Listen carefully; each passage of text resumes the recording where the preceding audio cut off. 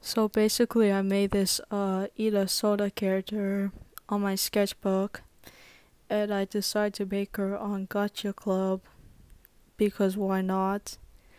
I thought it would like come out like how I did on my sketchbook, but here are the results in Gacha Club.